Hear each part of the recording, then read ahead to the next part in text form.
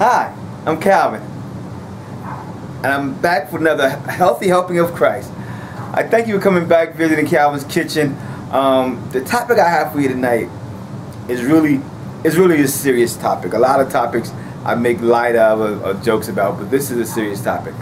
Uh, tonight's topic is really is really more about about civic duty. I believe that Christians and the church have a duty. Story tonight is this. We're Christians. We should be thinking about the greater good, no matter what the situation, how the situation, where the situation, the greater good. Um, we have civic obligations. One of these civic obligations is voting. You may think voting is silly. You may not like the candidates that are running. What I wanted you to understand tonight, though, is that not voting because you don't like the candidates is just like giving away your vote to somebody else. I'm going to show you a video. Uh, this video was I was found on a, a CCTV uh, dot com. It was a Farrakhan, a video of Farrakhan, Minister Farrakhan. Um, he was talking about Trump and this year's voting. Um, I want you to watch this video, and after it's over, I want to give you a couple of words. All right? Take a look. If you look at Mr um, Trump. Trump right. Mr. Trump is um, a, a, businessman. Certainly, he's done great things in, in the business world. Got a lot of money from his dad that helped. Oh yeah, his dad was a nice fella. He ran a little dusty work, and like like like millions of dollars. We like start with that. That's like like Mr. Joe Kennedy did. That's right.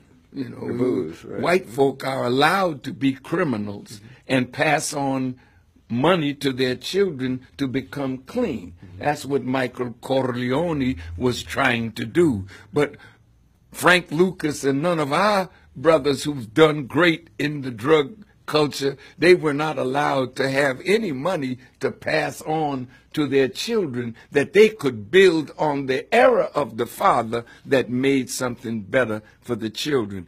But Mr. Mr. Uh, Trump is tearing away the skin of the onion of white civility.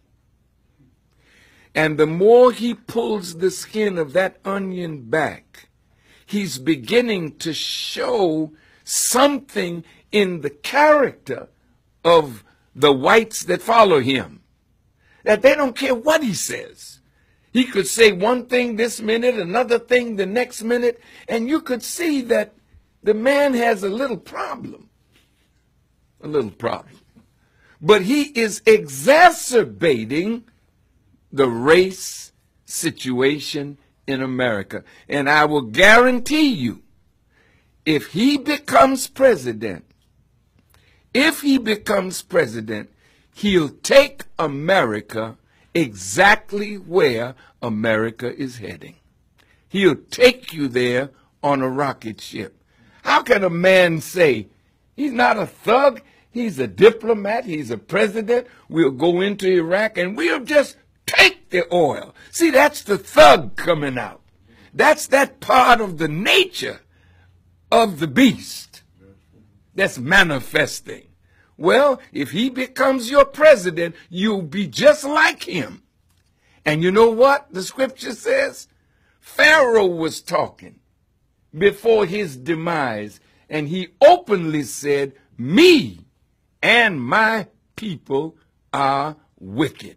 And when you get leadership that is not rooted in justice, then they begin to make the people just like themselves. Be careful, America.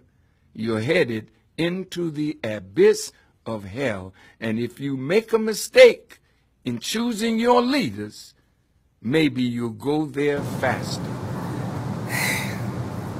So, the video. First of all, Minister Farrakhan is doing a strong works in the black community. He's trying to enlighten people to be conscious of who they are. I have nothing against Minister Farrakhan.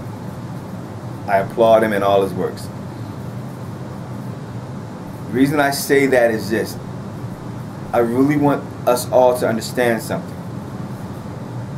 That it's your obligation as an American, as a Christian, to vote.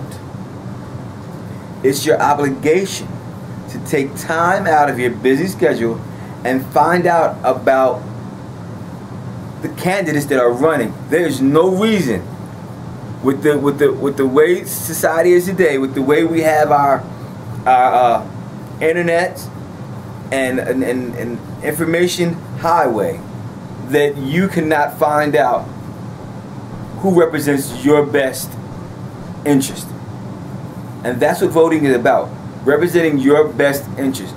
It's not about color. It's not about Republican, Democrat. It's not about, it's about who is gonna move things in your best interest. You can't vote for me because you, you don't know what my interests are. I tell everybody, you don't vote for a person just because your mom voted for them or your dad voted. You vote for that person because you have some idea about what their interests are, how they did, and who's the best candidate. I am a Democrat. Yes, I am. Um, and but would I vote for a Republican if I thought he was the best person for the job? Yes. In this case, I'm voting Democrat. but, but that's that's just me. Um, I, I I plead with everybody out there. Take time in this Republican season to to think about who you're voting for. Think about what their running idealism is, and think about how it's going to re reflect on you because that person you put in, in office is there for four years. Not one, four. So whatever you, whoever you put in there is in there for four years. At the end of that four-year term, they may even get a, a second chance. But they're in there for four years.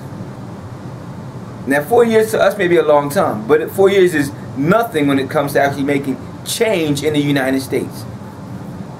What I want you to do though, is I want you to take time out. Find out who you're voting for. Go over your options. Think about your best interest. Look at the candidates as well as you can, as best you can. And if you can't do it on your own, find someone to help you look at the candidates. If you're 18 and above, vote. If you're 18 and above, vote. Especially, especially saints Black America, vote. This is not a time for us as a people to be sitting on our hands and, and, and waiting for somebody else to make a decision like this for us. This is a time we must stand up and make decisions. Smart decisions. Not decisions just because you're of your skin color. Not because of your of your of your political uh uh uh, agendas, but think about the actual candidate. Think about what they're going to be bringing to the table for you. I guess say this Calvin's Kitchen why? Well, I believe that we as Americans have an obligation. I enjoy being saved. I love God with all my heart. My wife, my family, I, I love them.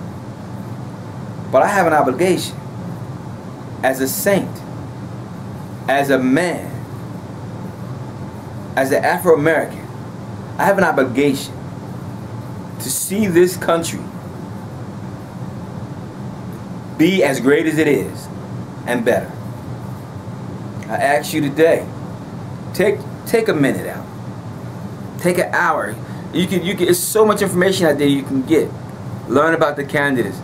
Read. Go on online. You know, everyone has a phone. Go, you can go online on your phone. Find out about the candidates. A lot of the stuff that uh, uh, Minister Farrakhan said was really from his point of view. And he made some great points. But you have to see the state of America today and see what's best for them for tomorrow. I'm Calvin. This is Calvin's Kitchen. I hope you were blessed by the word. And as always, let's keep it hot, boy!